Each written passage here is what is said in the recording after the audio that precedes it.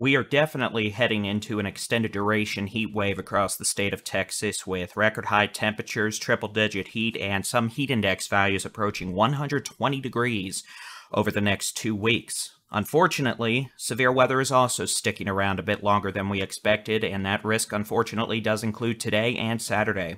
Let's talk about it in the Thursday edition of the Texas Weather Roundup.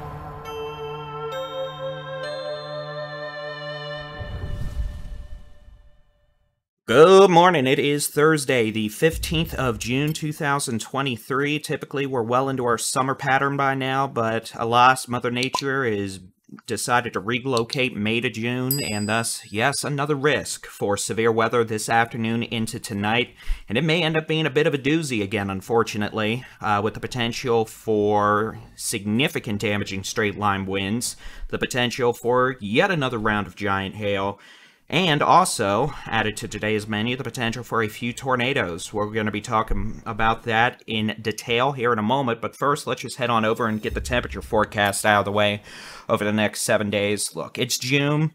Contrary to Mother Nature's belief that it's actually April or May with the jet stream overhead, it is still going to feel like June and summer as a whole, and temperatures are only going to be going up from here.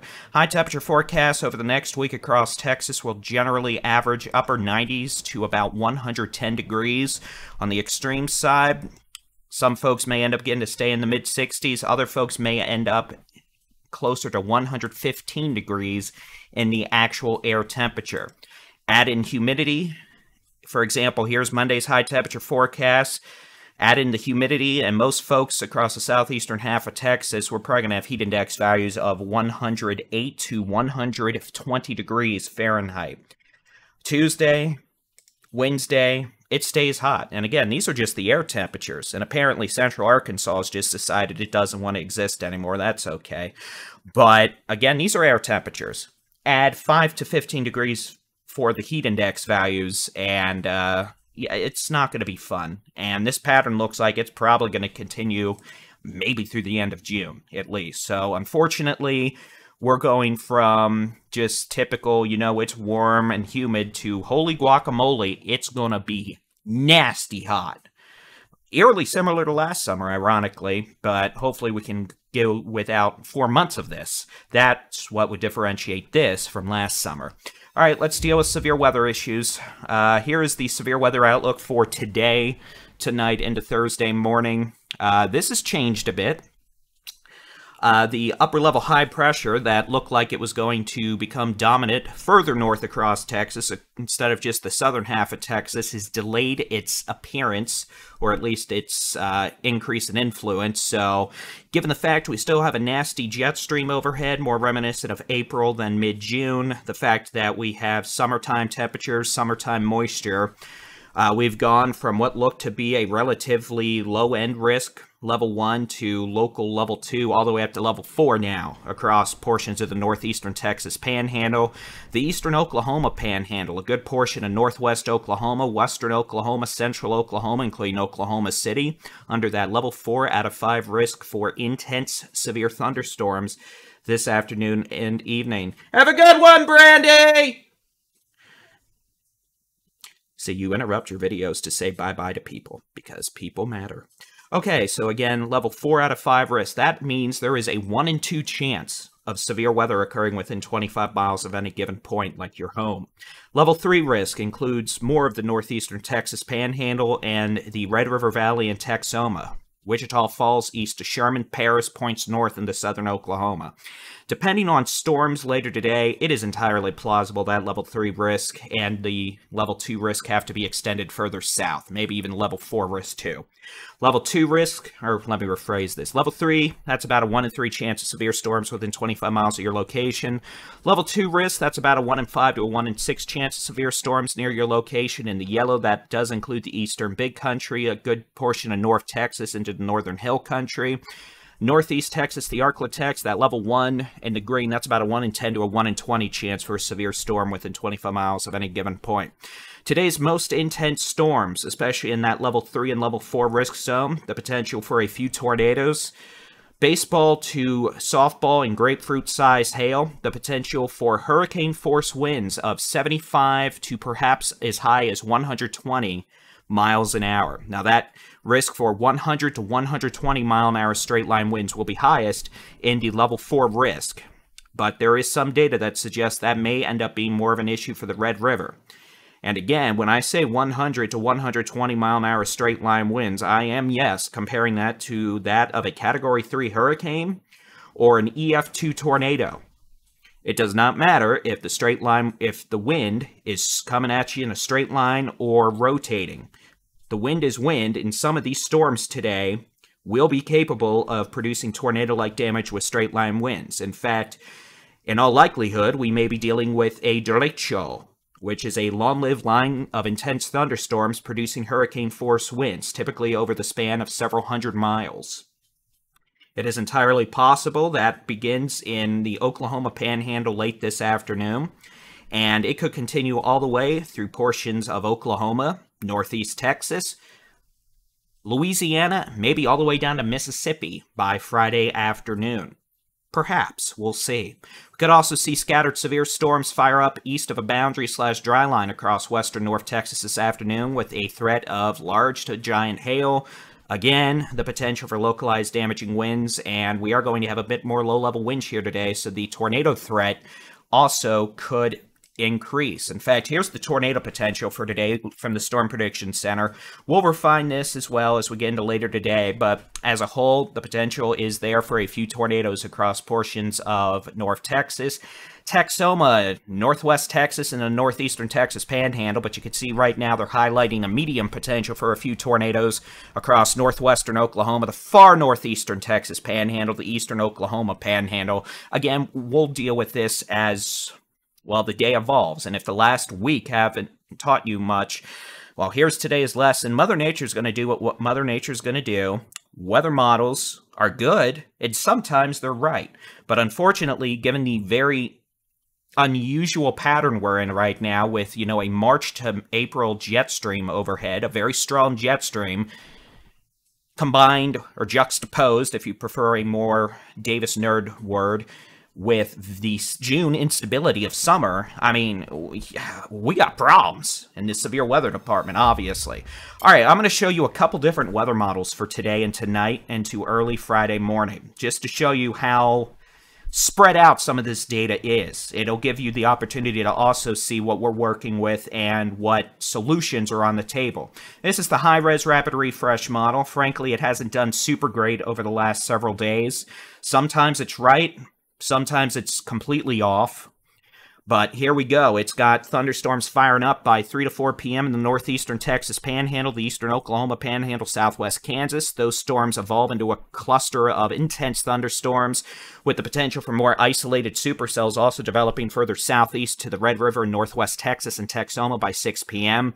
Cluster of storms will move southeast, individual supercells more to the east individual supercells capable of producing softball-sized hail winds to 80 miles an hour. The potential is there for a few tornadoes cluster of severe storms that move southeast across western Oklahoma, central Oklahoma, and the northeast Texas tonight.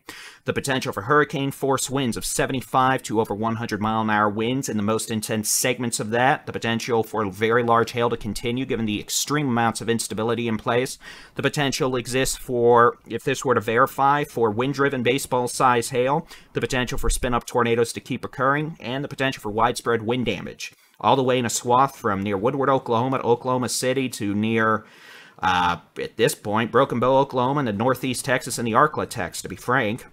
And again, those individual supercells you see trying to ride the Red River, those would be problematic in pretty much every severe weather hazard way possible. All right, so that's the high-res rapid refresh model. Here's the North American model.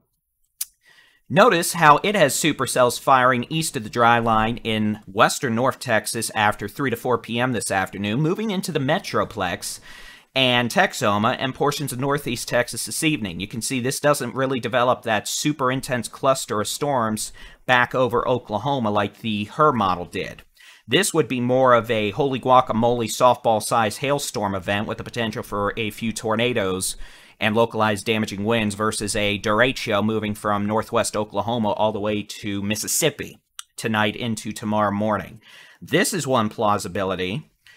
And this would obviously result in a more substantial severe weather threat for North Texas and Texoma this afternoon versus having to wait till tonight. And that's certainly on the table. And if that wasn't fun enough, here is another weather model. This is actually an experimental weather model that is uh, being designed to replace the high-res rapid refresh or the HRRR model. This model generally, it seems, has been way overzealous with thunderstorms and convection this spring, but it might provide a realistic worst case scenario for us today in the sense that this thing pops supercells up all the way from uh, the eastern big country into the hill country into North Texas into western Oklahoma through 7 p.m. this evening. Unfortunately, the end of this weather model runs at 7 p.m., but in all likelihood, we'd see a cluster of storms then attack northeast Texas tonight. If this were to verify, that would kind of look like the North American model in regards to supercells and pretty much dropping softball size hail, the potential for a few tornadoes, localized damaging winds, across North Texas, Texoma after 4 p.m. this afternoon, and then Northeast Texas this evening, we'd have the potential for hurricane force winds, wind driven baseball size hail, maybe spin up tornadoes as well. So, again, and I mean, also the potential for more isolated storms all the way down to near Austin and Belton and Temple, back to Killeen. And again, these are just a couple of the various possibilities we're dealing with today. So uh, it goes without saying that today's going to be a good day to remain weather aware if you are in pretty much the hill country all the way north into North Texas, Texoma, the Arklatex, into a good portion of Oklahoma. And again, probably what we're going to see happen here is a variation of one of the three solutions I just showed you. And honestly, we're just going to have to see what happens when it begins to unfold. But Unfortunately, like I've said already, we're dealing with a situation where we could get really nasty hail, really nasty damaging winds, and compared to the last few days, we've also seen an uptick in low-level wind shear, so the potential for a few tornadoes is certainly there. I'm not saying this is going to be, you know, like an April tornado outbreak. I don't think we're going to see, you know, dozens of tornadoes out of this. But given the extreme instability, the extreme for at least mid June, unprecedented, frankly, amount of wind shear aloft, and at least some modest increase in low level wind shear in juxtaposition with the extreme amounts of low level instability. The tornado threat is certainly there today. We're going to have to be mindful of that. And then we go into Friday. Friday, the potential there for isolated severe storms in the northern Texas panhandle, maybe far northeast Texas, Honestly, Friday looks like more of a down day for severe storms, a hot day, but you know what? Maybe maybe we can just get one day, one day without having softballs flying somewhere in the state of Texas. And if you were watching my video yesterday, you know, I pretty much said, hey, you know what? After tomorrow, it looks like we're going to be done with severe storms. I was wrong because, like I said, the high pressure is starting to take its sweet time getting here. So, unfortunately, let's go to Saturday. Saturday has gone from a 2A, oh good, another significant threat for severe weather. Right now, the Storm Prediction Center has a level 2 out of 5 risk for severe storms across the eastern half of the Texas Panhandle, west central Texas, northwest Texas, Texoma, portions of North Texas, with that level 1 risk all the way south through the Big Country, the Concho Valley, portions of central Texas, the Arklatex and East Texas. Look, there is a good chance we're going to see higher risk levels introduced as we get closer.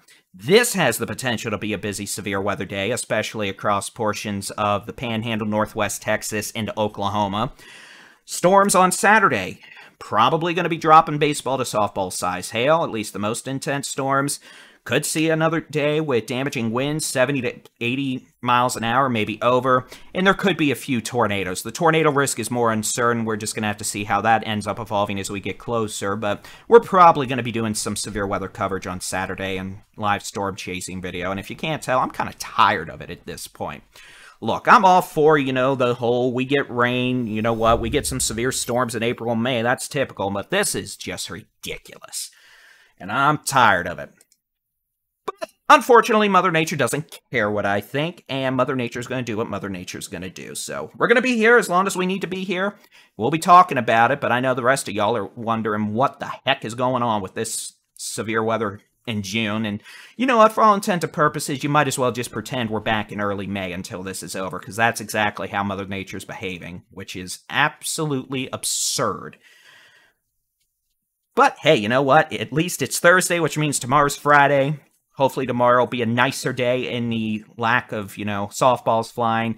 Get through Saturday, and perhaps, perhaps, perhaps we'll be done with it. And then it's going to be 105 to 115 degrees for like the next two weeks at least, without much in the way of rain chances. But that's how it goes sometimes. So we'll be keeping an eye on things here at the Texas Storm Chasers. We are going to have chasers out about today. Uh, we will have live severe weather coverage this afternoon into tonight, assuming the derecho. Well, we will have severe weather coverage, but also the part where the derecho is probably going to come and try and attack me and, you know, take out my ability to live stream, depending on the whole uh, infrastructure damage from widespread damaging winds, and hopefully no hail comes flying through that window. Boy, let me tell you, that's not as easy as it looks when you're looking at a screen and have your bearings off. You can keep an eye on the sky with the free Texas Storm Chasers interactive weather radar on our website, texasstormchasers.com, or in the free Texas Storm Chasers mobile app. We'll probably be doing more of these video updates later this morning into early this afternoon from the almighty meteorologist Jason Cooley. And then yours truly will be here for severe weather coverage later until I have to go hide in the closet because the derecho is trying to throw wind-driven softballs at my window next to me. You know, windows are nice to have in weather offices and all, but sometimes, especially when they're west-facing, the threat of wind-driven hail is kind of spooky. So, y'all have a great Thursday. God bless. You'll be seeing more from us later today.